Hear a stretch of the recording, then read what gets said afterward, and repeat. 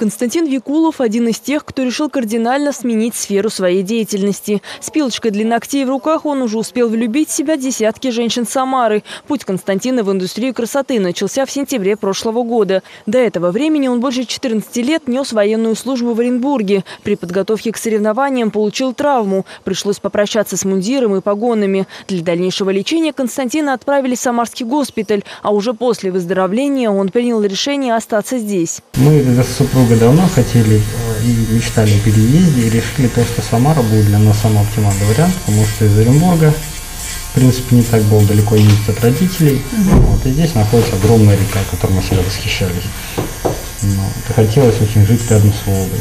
В Самаре Константин прошел индивидуальный курс по обучению маникюру. Сам находил модели и набивал руку. Говорит, выбрал эту сферу, потому что она была более доступной. И в то время мужчины-маникюрщики только раскачивались на рынке. Поддержали Константина Викулова в его начинании как родственники, так и друзья. По словам мастера, он никогда не сталкивался с осуждением. Кстати, среди клиентов довольно много мужчин, которые доверяют Константину уход за руками. Необходимо понимать, что процедура маникюра конкретно для мужчин. Но это в большей степени уход за руками. Это гигиеническая процедура.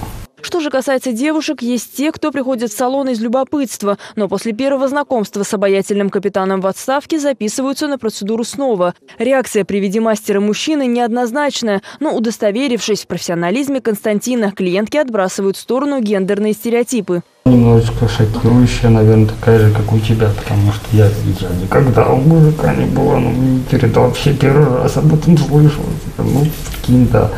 Вот она реакция. Ну, она соответствующая месту, соответствующей как бы ситуации. Здесь ничего страшного нет. Часто в процессе работы Константин выслушивает немало интересных историй от клиенток, дает им советы и становится еще и психологом на время процедуры.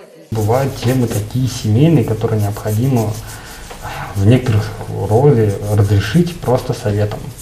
Некоторые женщины приходят, например, на маникюр там, через две недели, это ну, у меня была две недели назад, она пришла через две недели и говорит, мне нужен твой совет садится, давай делаем, короче, маникюр. И просто разговариваем. И такое бывает.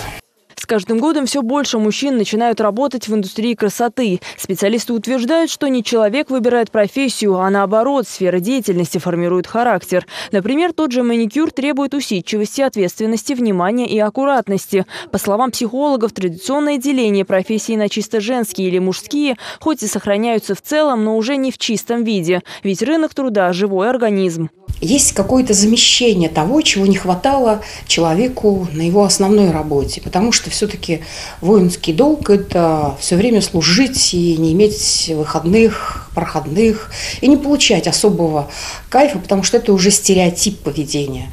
То есть нужно идти на службу, нужно идти на какой-то там, если есть сирены или какие-то вызовы экстренные. Вот. Я могу сказать, что этот человек, он, наверное, по своей личностной такой вот характеристике строгий, четкий, э, хорошо работающий.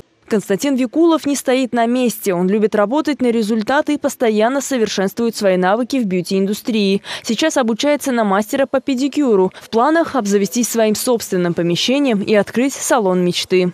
Мария Илчан, Константин Головин, Василий Колдашов. События.